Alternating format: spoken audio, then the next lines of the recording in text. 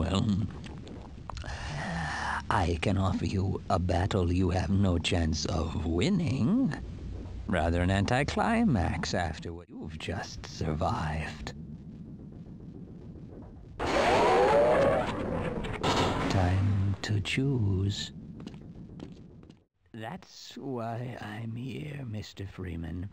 I have recommended your services to my uh, employers, and they have authorized me to offer you a job. They agree with me that you have. Not that I wish to imply you have been sleeping on the job. In the meantime, this is where I get off.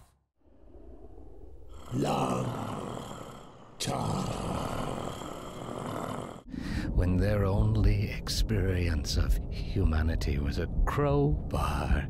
Sergeant Mitchell in the flesh. Or rather, his remains.